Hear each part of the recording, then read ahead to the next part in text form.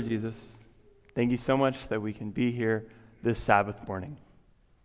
We pray that you will be with us, Lord, that your Holy Spirit would speak to our hearts, God, and that after this, we would know how to be prepared to give an answer. We love you so much. Thank you for being here. Amen. How can I understand unless someone guides me? Well, this isn't the first time this question has been asked, nor will it be the last, right? People ask it all the time, even like mentioned before with math homework. I mean, I, am kind of still asking that, but fortunately, since I'm Theo, I don't have to take math classes. Amen. but people ask this question all the time because people have questions, right? People want answers.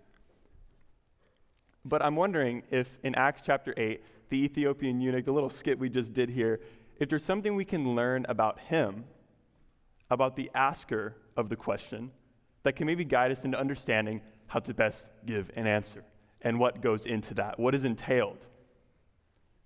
Turn with me in your Bibles to Acts chapter 8, starting at verse 26. A lot of you probably know this story, but you know, you can still turn if you would like to. So, what can we learn about the eunuch? Well, it says that he was head of the treasury of Ethiopia. So, obviously, we're looking at someone with power, with influence, right? Head of the state, a government official, right? He, he carries authority, right? He comes with an entourage. He has a secretary who organizes his stuff. He has representatives. He has an agent. He's big time. He's a powerful man, an authoritative man. So that's something we know about him so far. But there's another clue that gives us a little more insight. He was coming down from Jerusalem from worshiping. Now, Jerusalem is about 1,500 miles away from Ethiopia. So I don't know about you, that doesn't sound like he casually went there this trip would have probably taken at least a month, maybe a month and a half, to get all that way in a chariot, right? So if he's going to Jerusalem and it takes a month to get there and back, this obviously shows that it, it's important to him, right? He went to go worship there, to take all that effort, to leave the state in the hands of somebody else. So obviously, this is important. And as he was coming back, he was reading from the prophet Isaiah. He had a scroll. He had a scroll. He bought a scroll. That's not the same as buying a, a pocket Bible, right? He had money. And he was reading it devoutly, seeking to understand. How can I understand unless someone guides me? I don't know about you, but a government official admitting help from a random stranger means that he had probably exhausted his mental capacity. Capacity. He'd exhausted it. How can I understand unless someone guides me?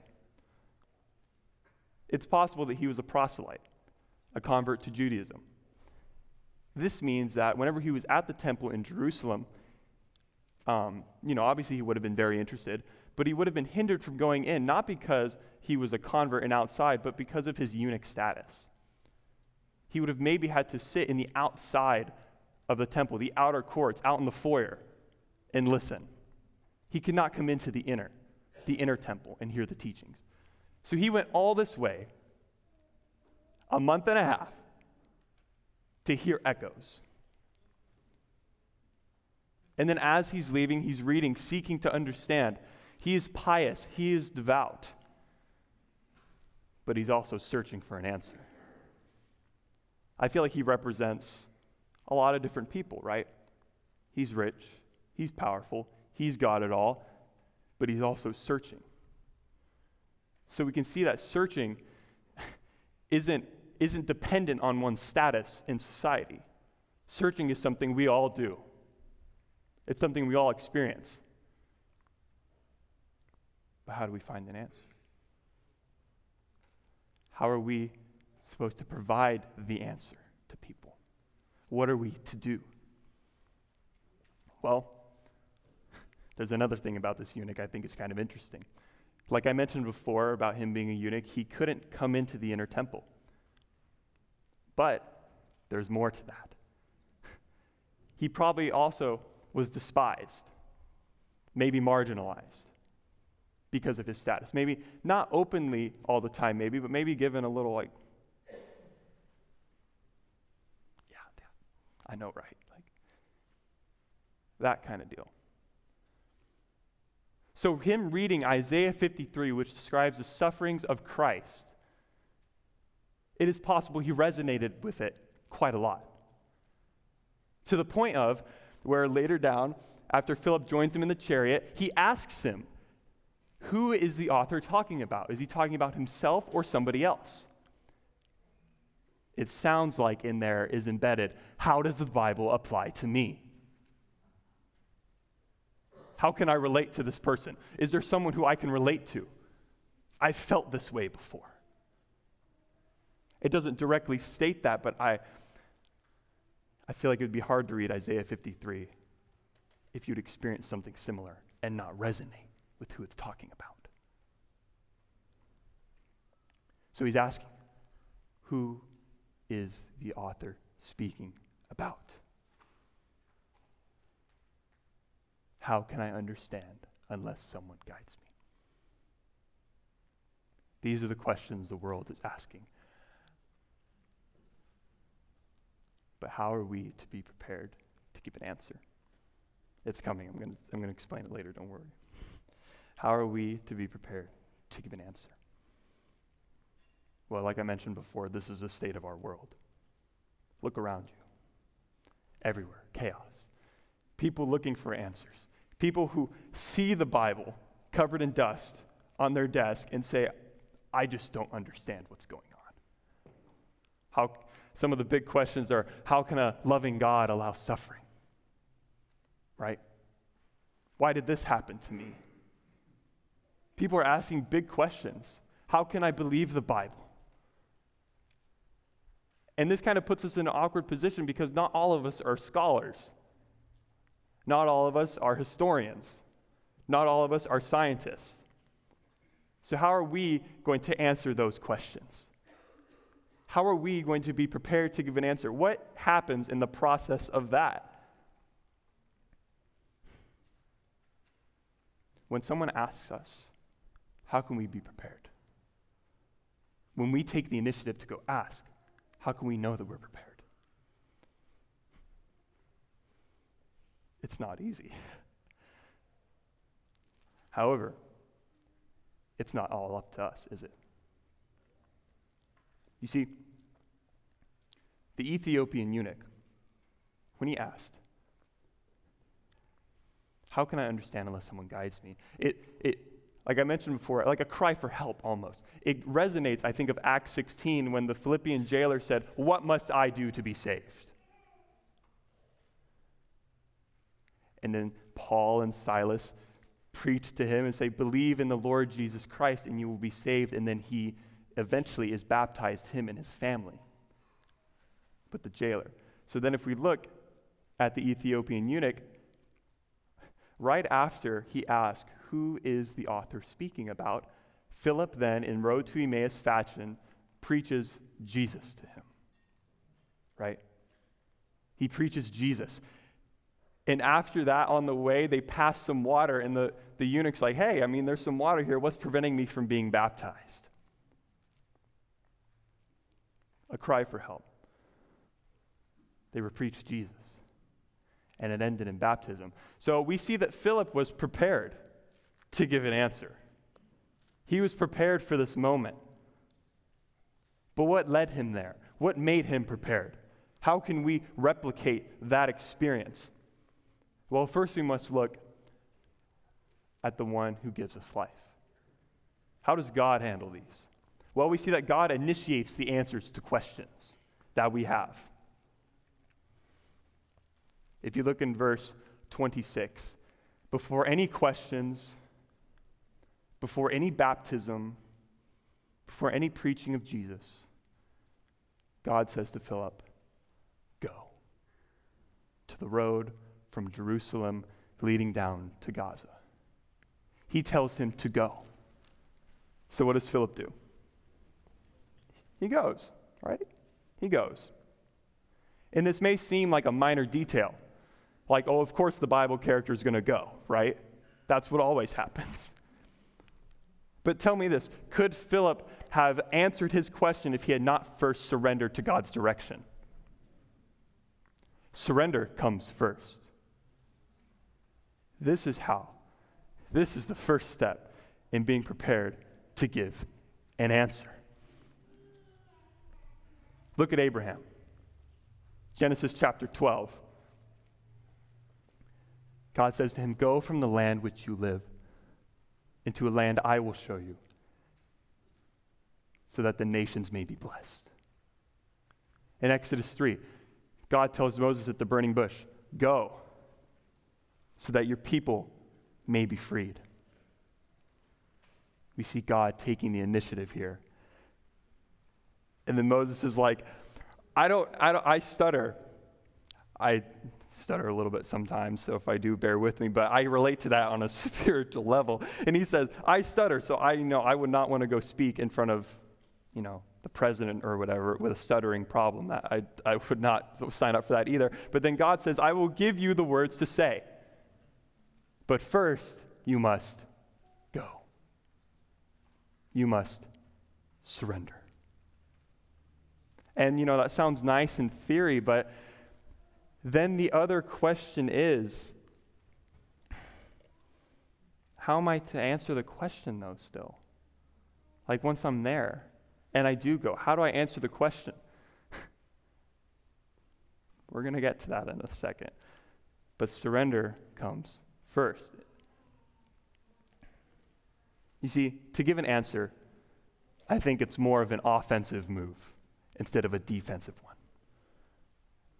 It's us taking the initiative instead of being backed into the corner and trying to practice apologetics. No. It's chasing after our world. Look at the second command that God gave to Philip go and run and take over his chariot. Join him where he is, catch up to him, join him, seek after him.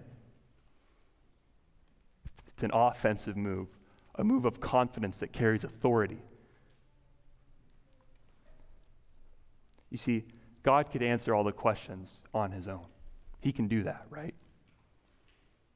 I mean, because God exists, people have the ability to have questions. So I'm pretty sure he can answer them.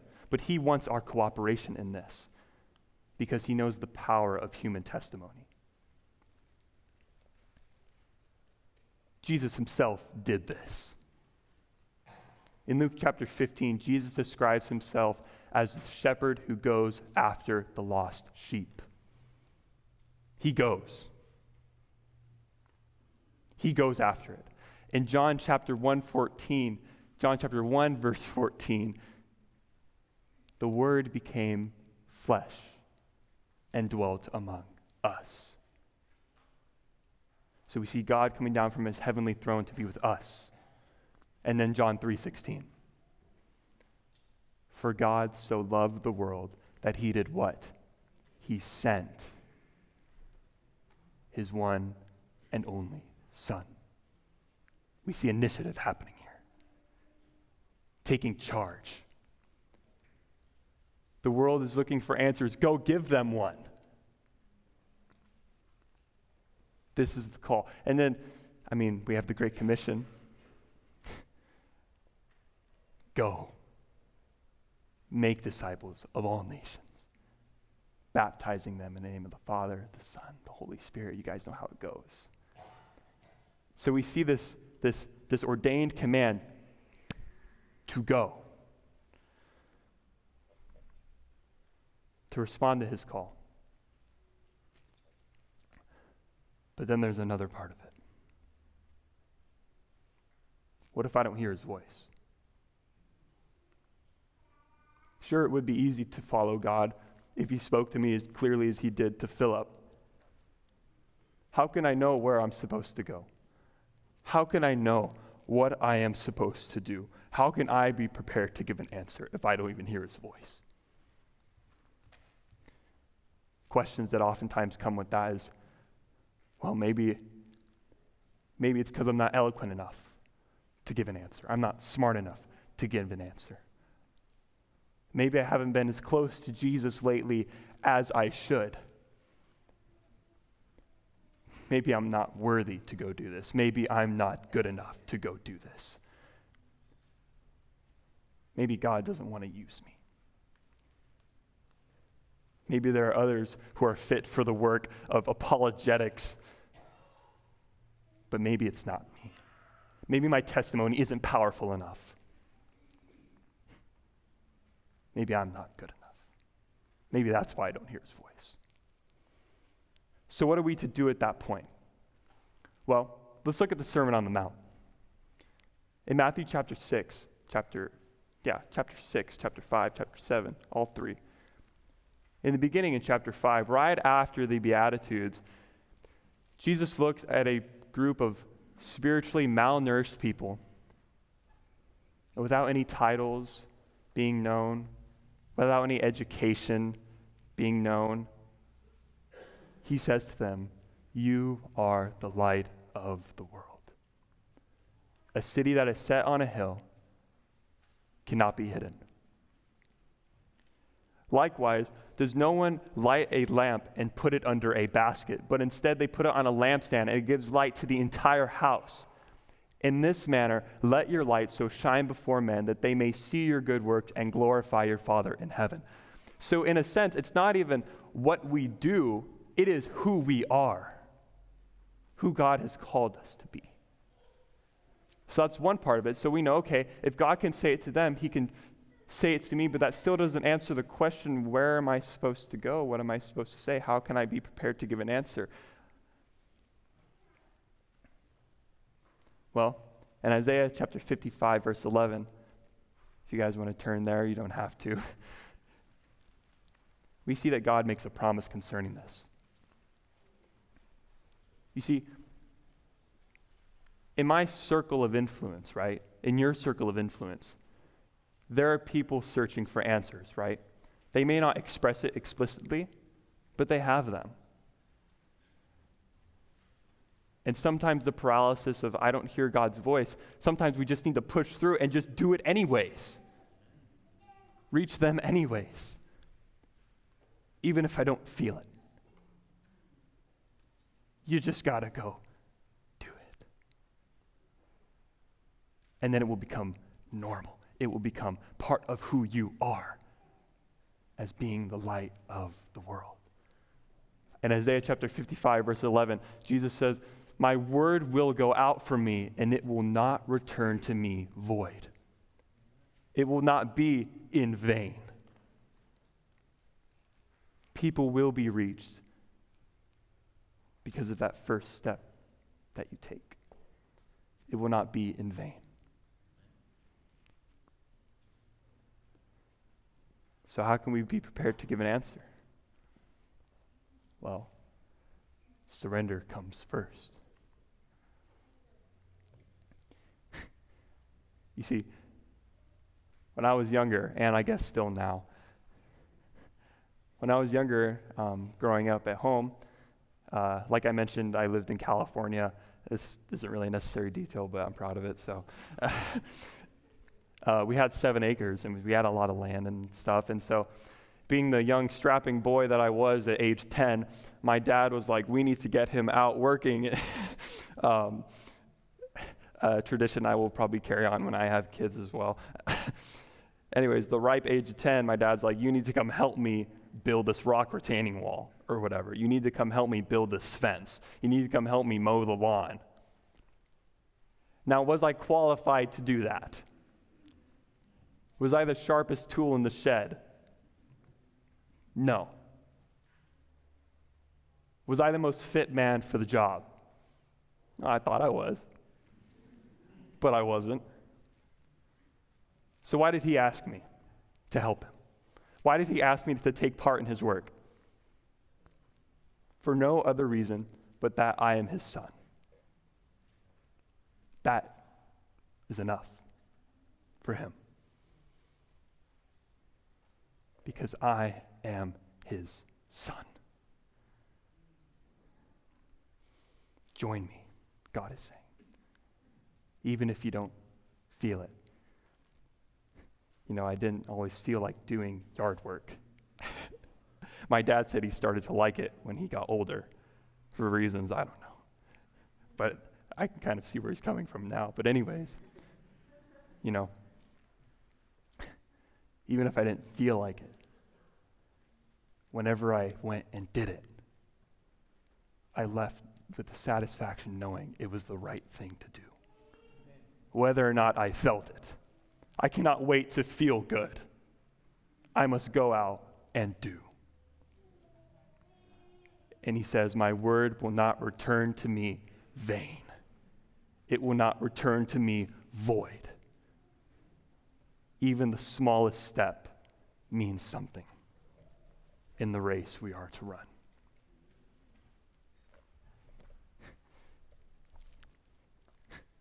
In Matthew chapter 20, Jesus tells a parable. And this is where we get the parable of, you know, some worked for 12 hours, some worked for two hours, and they got paid the same. This is this parable, right? We're not actually really going to look at that one, but we're not, we're not going to look at that part of the story. But before, it says that the landowner went to the marketplace. So, why did he do this? Well, back in antiquity, it was common where if you didn't have a job, you would go and stand in the marketplace and wait for someone to hire you for the day. It's like posting your resume on LinkedIn or something and just waiting, right? So they would go and just stand there and wait, and he would be, hey, I need your help. Get over here. I'll pay you a day's wages. It doesn't say the landowner went and interviewed them first, right? He just went and asked, Are you willing? Do you want to follow me? If so, you can do the work that I've called you. You see, we cannot wait until we are able to surrender. But instead, when we surrender, we are made able. Exodus chapter 3. I will give you the words to say, Moses. My word will not return to me void.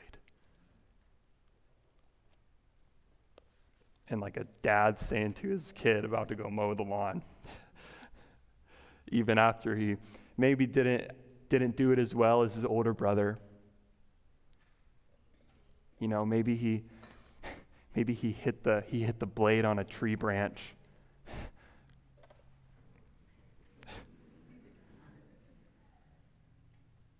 said, I still ask you to do it again tomorrow because you are my son.